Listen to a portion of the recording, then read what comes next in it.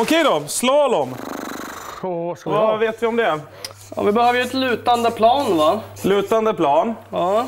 Jag behöver något som är lite mindre friktions... Liksom, något friktionsfriare än grus. Eh, snö. Snö, vi kör Ja. på snö. Jättebra.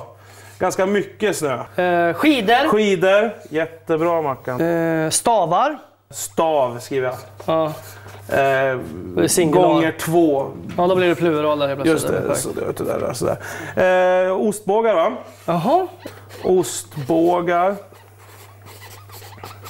Båge. Ja, Ja, det är singular igen. ja jo, men den... Eh, ja, vi tar det gå- gånger 26. Pjäxor. Bra. Pjäx. Ah, Nej, men det där ser ju bra ut tycker jag. slalom ja. Ja, Ska väl inte vara så svårt. det är värt ett försök.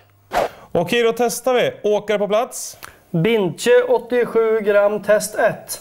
Då säger jag 3, 2, 1, kör! Där ja. 1.02. Det är rekord va? Jo, men de siffrorna kan vi slipa på vet du. Ja, alltså om man ökar lutningen lite grann och tar en större potatis. Mm. Jäklar vad snabbt det gick det. Fast nu på riktigt vet du, då är det stora potatisar. Ja, fast han hade inga ostbågar. Nej, de har jag här.